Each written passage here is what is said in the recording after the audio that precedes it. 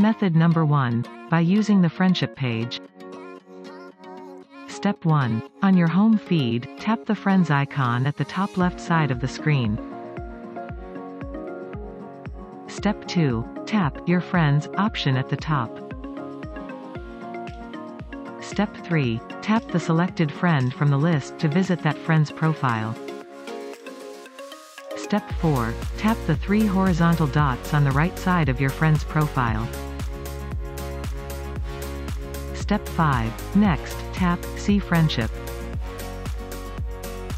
Step 6. Here you can see when you became friends on Facebook. This method usually shows the date you became friends with someone, but sometimes it doesn't work and shows different info. If it fails, try the second method. Method number 2. By using the activity logs.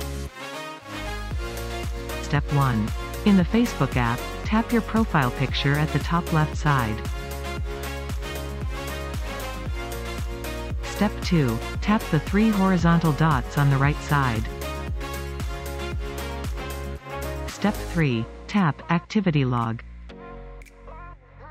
Step 4. Scroll down and tap View Connections. Step 5. On the Connections page, tap Filters. Step 6. Tap Categories in the pop-up menu. Step 7. In the Categories section, tap Added Friends. Here you can see all your friends and also the dates when you became friends with each of them. That's it. You've now learned two ways to find out how long you've been friends with someone on Facebook.